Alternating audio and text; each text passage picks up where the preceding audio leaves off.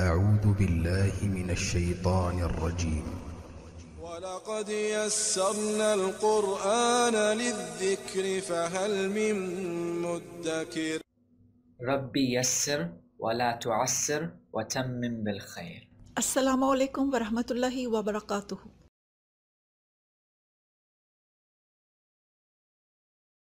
हमने कलिमा में मुरक्कब मुरक्कब में मुरक्कब नाकिस और उसमें मरकब, तोसीफ़ी, अशारी और जारी बनाए और वहाँ से जुमला इसमिया बनाया। आज हम मरकब इजाफ़ी बनाएँगे और फिर वहाँ से जुमला इसमिया बनाएँगे। मरकब इजाफ़ी जो है वो कम अज़ कम दो असमा का ऐसा मरकब जिसमें एक इसम को दूसरे इसम के साथ नस्बत दी जाए या एक इसम का दूसरे इसम के साथ तल्लुक़ कायम किया जाए, मरकब इजाफ़ी कहलाता है।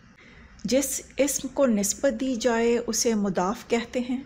और जिस इसम की तरफ़ नस्बत दी जाए, वो मुदाफ़ इला कहलाता है। उर्दू और अरबी ज़बान में मुदाफ़ और मुदाफ़ अपोज़िट आते हैं। उर्दू ज़बान में, जैसे हमने कहा, जैद की किताब तो इसमें जैद जो है, वो मुदाफ़ होगा और किताब मुदाफ़ होगी, जबकि वो बाद में लिखा हुआ है। अरबिक में पहले मुदाफ़ आएगा, बाद में मुदाफ़ आएगा। किताबुन जैदिन। जैद की किताब। मरकब इजाफ़ी बनाने का तरीका ये है, मुदाफ़ और मुदाफ़ के ऊपर हम कवायद अप्लाई करेंगे। जैसे मुदाफ़ के कवायद ये हैं कि उस पर अल नहीं आता और मुदाफ़ का इराब हल्का होता है। जबकि मुदाफ़ के हमेशा हालत जर में होता है। मरकब इजाफ़ी तरकीब में मुदाफ़ के मारफा या नकरा होने का फ़ैसला, मुदाफ़ लय के मारफा या नकरा होने से किया जाएगा। यहाँ इसको सिंप्लीफाई करके बता दिया।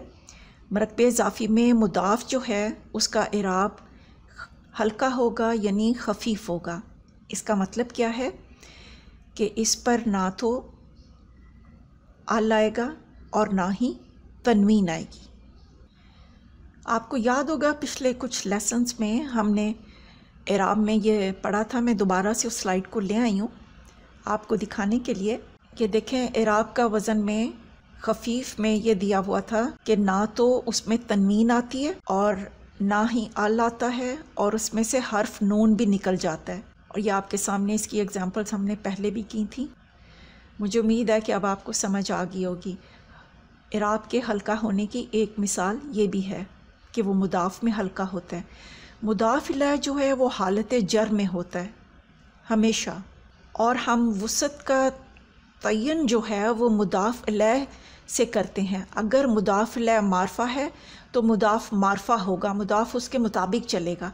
अगर मुदाफ़ नकरा है तो मुदाफ़ को भी हम नकरा ही मानेंगे।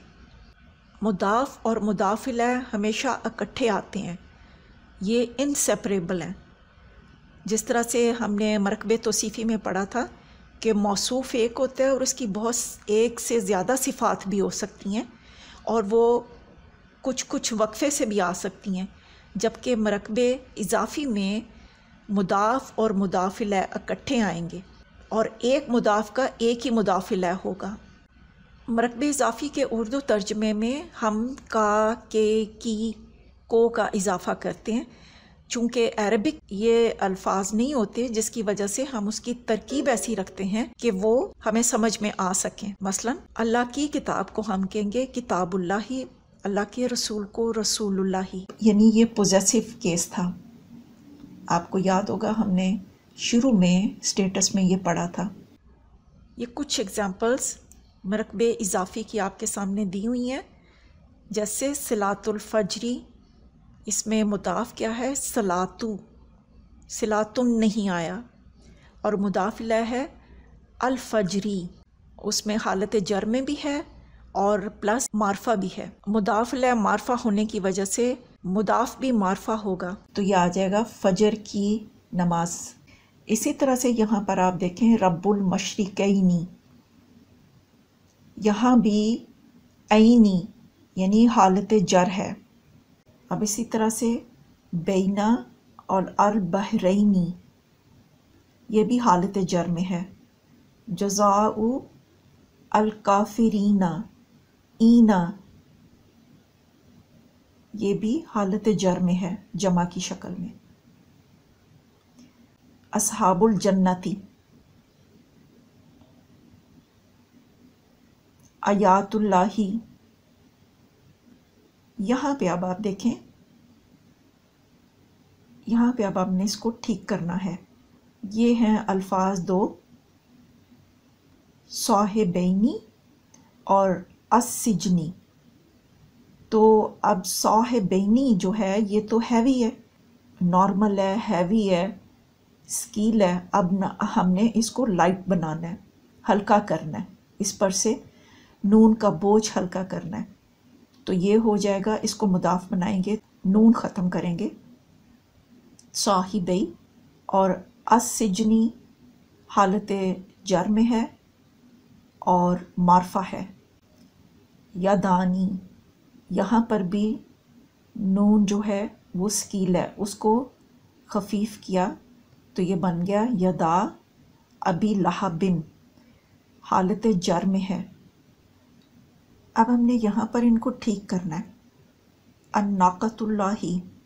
अब ये मुदाफ, मुदाफल है, हमने इनको बनाना है। तो ज़ाहिर है ये हैवी है, अल लगा हुआ इसमें। तो ये मुदाफ नहीं है। इसको मुदाफ बनाएँगे तो नाकतुल्ला ही आएगा। इसी तरह से था मस्जिद अलमुसलमूना। ये हालत रफ़ा में है। तो इसको हालत जर में करने के लिए अलमुसलमीना बनाएँगे। मस्जिदुल मुस्लिमीना फिर ये मुदाफ मुदाफ बनेंगे। इसी तरह से नूर समावातु, ये भी हालत रफ़ा में है। इसको हालत जर में किया नूर नूर समावाती। अज़िक्रुल्लाही यहाँ पे मुदाफ जो है वो हैवी है, उसको लाइट किया। किताबुल वालदानी, आनी, उसको ये हालत रफ़ा में था। इसको हमने हालत जर में किया। गुरफतानी ये भी हालत रफ़ा में है। आनी, दो, डुअल है।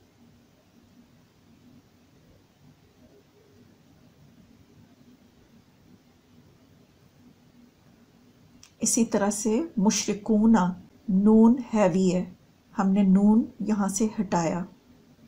और क्योंकि मुदाफ़ जो है उसमें अल की कोई बंदिश नहीं है। बाज़ असमा बैक वक्त मुदाफ़ भी होते हैं और मुदाफ़ भी होते हैं। तो उन पर मुदाफ़ और मुदाफ़ दोनों के कवायद हम अप्लाई करेंगे। मसलन, बदले के दिन का मालिक, मालिकी योम दीन। यहाँ पर अब आप देखें, मालिकी मुदाफ़ है और योम जो है, योमी मुदाफ़ अलह है। लेकिन चूँकि ये भी लाइट है, आगे अद्दीन, अद्दीनी लिखा हुआ है तो योम भी लाइट है तो ये दोबारा से अद्दीन का मुदाफ़ बन सकता है। तो मालिकी योमी मुदाफ़ मुदाफ़ल है, फिर इसी तरह से इस योमद्दीन मुदाफ़ मुदाफ़ल है बने। तो तो इन दोनों में योम जो है, ये मुदाफ़ भी यूज़ हुआ है और मुदाफ़ लय के तौर पर भी यूज़ हुआ है। इस एग्ज़ाम्पल को आप इस चार्ट को आप ज़रा देख लें। प्रैक्टिस हो जाएगी आपकी। बैतुल्ला ही किताबुल्ला ही नसरुल्ला ही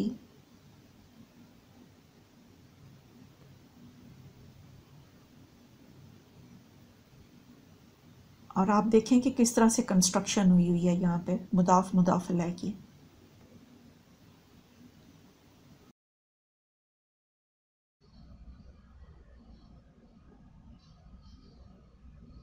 अब हम मरकब इजाफ़ी से जुमला इसमिया बनाते हैं। मरकब इजाफ़ी में है का मफहम पैदा करने के लिए किसी तीसरे इसम का इजाफ़ा करना ज़रूरी है। अगर हम मरकब इजाफ़ी के शुरू में कोई इसम लगाएँ तो वो इसम मारफा होगा, क्योंकि ये फिर यहाँ पर मुबतदा बनकर आएगा और मुबतदा मारफा होता है। और हम मरकब इजाफ़ी के आखिर में अगर कोई इसम लगाएँ तो वो इसम नकरा होगा, क्योंकि वहाँ पर वो इसम ख़बर बनकर आएगा। यहाँ पर आप देखें, रब्बुल आलमीन, ये मरकब इजाफ़ी है। आलमीना, ये हालत जर में है। एंडिंग कॉम्बिनेशन रसूलुल्लाह, ये भी मरकब इजाफ़ी है। और मोहम्मद और अल्लाह, ये मारफा हैं। इसी तरह से इस मारफा में अल कुरान अल्लाह अल्लाह। फिर आप देखें, इस मशारा उलाई का हाजही हा उलाई ये भी मारफा हैं। किताबुल्लाही, इबादुल्लाही, असहाबुल जन्नती, नौक़तुल्लाही नूरुसमावाती ये सब मरकब इजाफ़ी हैं।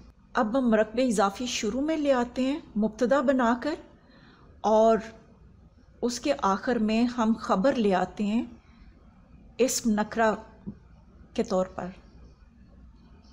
रब्बुल आलमीना, ये मुबतदा है और गफ़ूर ये ख़बर है। मरकब इजाफ़ी मारफा है और गफ़ूर नकरा है। किताबुल्ला ही मारफा है और मरकब इजाफ़ी है। नूर इसम नकरा है और ख़बर है। इसी तरह से आप बाकी एग्ज़ाम्पल्स देखें। ये सब नकरा हैं।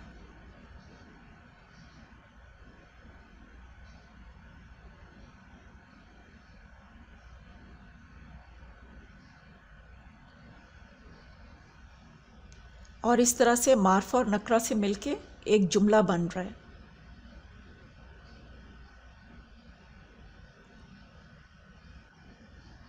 अब जैसे कि हमने कहा था कि बाज़ अल्फाज मुदाफ़ भी बनते हैं और फिर मुदाफ़िला के तौर पर भी आते हैं। तो ये वाली जो एग्ज़ाम्पल है, एक तो इसको सॉल्व कर लें, आपकी प्रैक्टिस हो जाएगी। दूसरा, इसमें से ये भी मार्क आउट करें कि कौन से ऐसे अल्फाज हैं जो कि मुदाफ़ भी बनते हैं और फिर मुदाफ़ लय भी बनते हैं?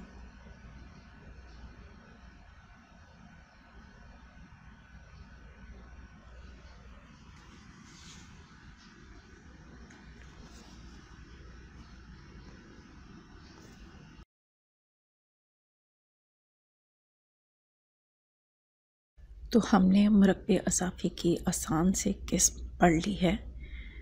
तो इस तरह से हमने तमाम मरकब नाकिस ख़त्म कर लिए मरकब तोसीफ़ी, अशारी, जारी और इजाफ़ी। और वहाँ से हमने जुमला इसमिया भी बनाया दो दो अल्फाज का। हमने अभी तक जितनी भी जुमला इसमिया की मिसालें की हैं, उनमें मुबतदा और ख़बर मुफरद थे। लेकिन हमेशा ऐसे नहीं होता।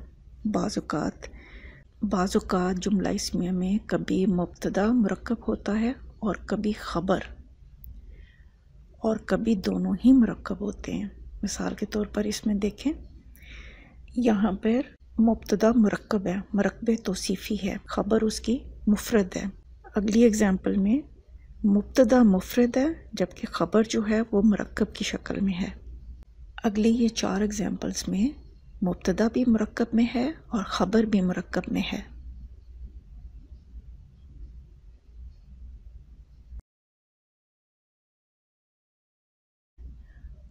अब आपने यहाँ इन मिसालों में देखना है कि कौन कौन से दो नाकिस मरकबात मिलकर जुमला इसमिया बना रहे हैं। हिंट के तौर पर मैं आपको बता देती हूँ कि जैसे ये मैंने हमत की चोटी, जहाँ कर पर भी कहीं का की को आया होगा, वो आप समझ लिया करें कि मरकब अजाफ़ी है कहीं। और जहाँ पर भी कोई हरूफ जारा में से होगा, वो आप समझ लें कि मरकब जारी है। और जहाँ कहीं आप देखें कि किसी इसम के साथ उसकी कोई सिफत पाई जा रही है तो जहन में रखें कि कहीं वो चेक करें कि मरकब तोसीफ़ी तो नहीं है। और जहाँ कहीं किसी इसम के साथ कोई अशारा पाया जा रहा हो तो चेक करें कि वहाँ पर मरकब अशारी है है या नहीं। मरकब अशारी की यहाँ पे तो कोई एग्ज़ाम्पल नहीं है, लेकिन इसमें ज़्यादातर एग्ज़ाम्पल्स जो हैं, वो तीन मरकबात की हैं। तो इन एग्ज़ाम्पल्स को आप अच्छी तरह से देख लें। तो इस तरह से देखें, हमारा जुमला थोड़ा लंबा हो गया दो मरकब नाकस आपस में मिलके उन्होंने जब जुमला बनाया तो जुमला ज़्यादा अल्फाज पर मुश्तमिल हो गया। तो अब देखें, अब हम दो अल्फाज के जुमले से ज़्यादा बड़े जुमले पर पहुँच चुके हैं।